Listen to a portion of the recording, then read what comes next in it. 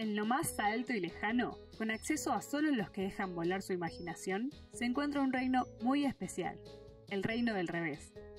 Bienvenido a un lugar dado vuelta donde desde el más chico hasta el más peludo puede hablar cualquier idioma, como Burby, capitán gato y adorable guía de turismo. Hi, I'm a cat and I speak English, aunque también hablo español, portugués, francés y muchos idiomas más. Podrás sorprenderte encontrando grandeza hasta en las cosas más pequeñas. Por eso Rubén ahora vive en una nuez. Pasó de grande y maloso a pequeño y cariñoso. No puedo entender por qué las abejas no comparten su miel conmigo. Solo quería un poquito. En este lugar no hay cosas de grandes o de chicos.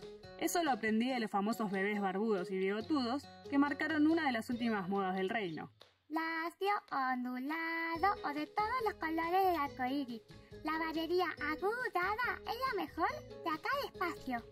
Hablando del espacio, no todas las aventuras de revés ocurren sobre la Tierra. El mundialmente reconocido astronauta Beijing es prueba de ello. Un perro pequinés que a falta de gravedad viaja entre estrellas y planetas.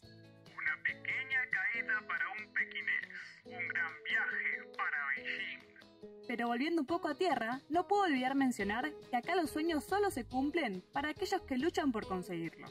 Andrés, nuestro loco hombre banana y fanático de los chimpancés, está por inaugurar su zoológico imaginario para animales en libertad. Pasen, pasen, no se queden afuera. Tenemos 2x1, 3x2, 9x15 y 28x47. Por último, una de las cosas más importantes del reino es la amistad, y no hay amistad más fuerte que la del cien pies y la araña. ¿Listo para perder 100 pies? Es que va a perder su pozo, araña. Animate a ser parte de todas las aventuras de estos personajes. El reino puede estar patas para arriba, pero las ganas de divertirse impiden que nos caigamos. ¡Te esperamos!